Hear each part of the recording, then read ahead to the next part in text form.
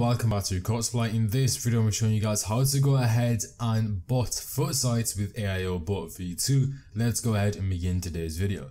Before we go and do so, I'd highly recommend you go ahead and drop a like if you enjoyed today's video, subscribe if you guys are new, and turn on post notifications to know the next time we upload. And finally, you can go ahead and check out the written overview regarding this video. As well as that, you can go ahead and purchase AIO bot with a discount code link down below. So if you're looking to go ahead and purchase the bot, make sure to use our discount code so you can go ahead and secure the bot for a cheaper price. So we're going to go ahead and begin today's video on the task setup section of today's video. Then we'll move into different sections. So to begin the task setup, I want to talk about the PID. So let's hit the add new button. Let's click on foot sites and then obviously we have all the foot sites sites that they currently support here so let's click into that actual task here and the first thing is regarding PIDs and this will help the site identify the products you want to go for. So pretty simply when it comes over here you go ahead and select PID and you go ahead and type in whatever it is. So please ensure this is correct and you can go ahead and consult your cook groups for this information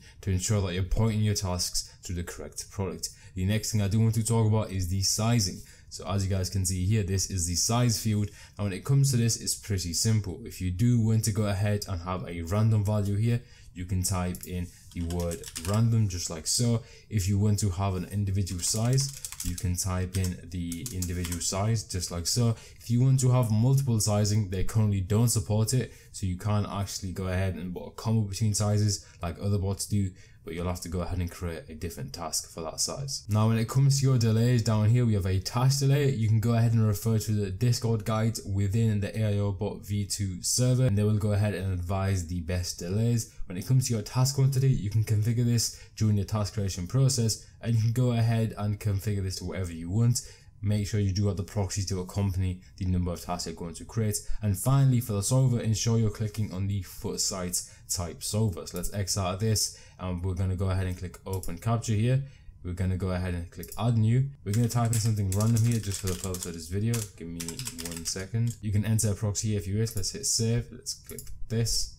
And as you guys are going to see, you can go ahead and select the captcha solver that you want to use it for. So obviously in our case, we'd go ahead and click foot sites. They don't have a foot sites option here, so you'd go ahead and select a site that comes under the foot sites section, more specifically the site you're going to be running for. Now we're going to go ahead and transition into the summary tips part of today's video. Let's go ahead and begin. The first tip I do want to talk about is that you can go ahead and start selected tasks by selecting certain tasks with the control button.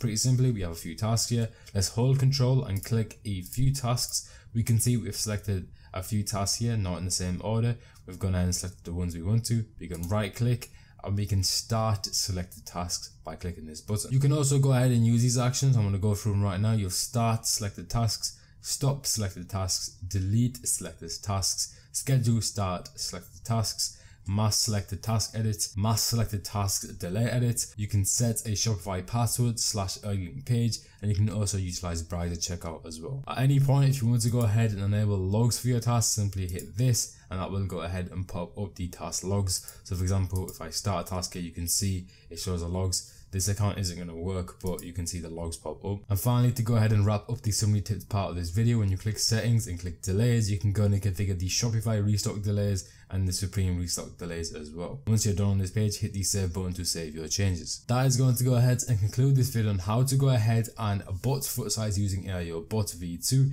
if you guys have enjoyed today's video please drop a like subscribe if you guys are new turn on post notifications to know next time we upload. Go ahead and check out the written overview regarding this video, link down below in the YouTube description. And finally, if you want to go ahead and purchase AIO bot, click the link down below and use our discount code to get a discounted price on your purchase.